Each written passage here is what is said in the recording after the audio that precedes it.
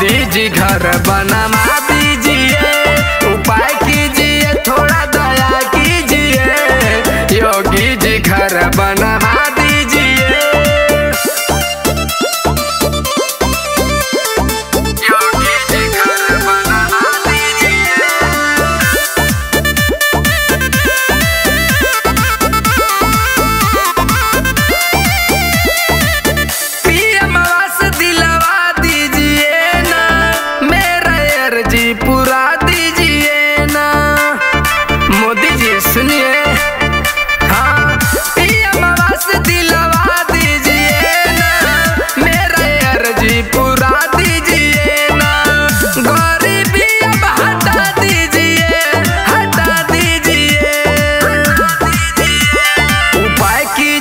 थोड़ा दया कीजिए मोदी जी घर बनवा